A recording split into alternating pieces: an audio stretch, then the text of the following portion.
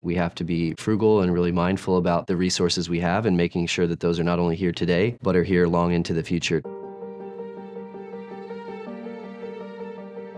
Enterprise Automation is an automation consultant and systems integrator.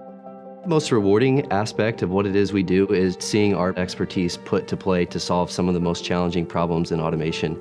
Water is a precious resource everywhere. It's especially precious in places like Southern California where we have more demand than we have supply. One of our recent projects involved a water reclamation facility in San Diego County water reclamation facilities make an impact on the environment by taking that resource and putting it back to beneficial use for the community. This facility had a legacy control system that we were able to upgrade and modernize. In doing so, we were able to decrease energy consumption by 11%, bring in things like better standardization, optimization, and increased productivity.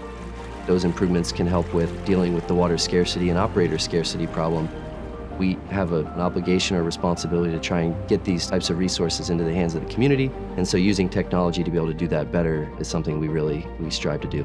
Our partnership with Schneider really helped out. The application of some of the technologies and the modernization process was done in conjunction with what are the best available technologies to make this happen in the right amount of time and to get the performance benefits we were after.